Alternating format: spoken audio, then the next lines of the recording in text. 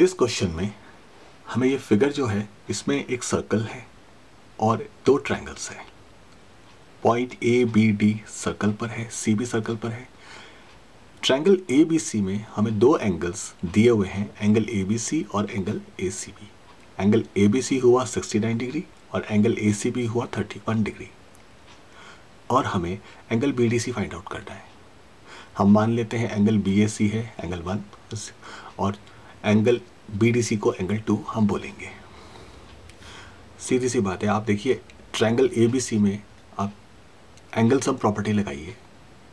Angle sum property कहती है कि ट्रायंगल के तीनों वर्टेक्स एंगल्स का सम होना चाहिए 180 डिग्री तो इस तरह से हम कह सकते हैं angle one plus sixty nine plus thirty one is equal to one eighty degree याद देखिए तो एंगल वन की वैल्यू निकल कर आती है 80 डिग्री कैलकुलेट करने एंगल वन हुआ one angle one one eighty eighty degree तो ये हुआ 80 डिग्री अब एंगल डी को देखिए, ये दोनों ही एंगल्स सेम सेगमेंट में हैं सेम आर्क बी सी पर सबटेंडेड है.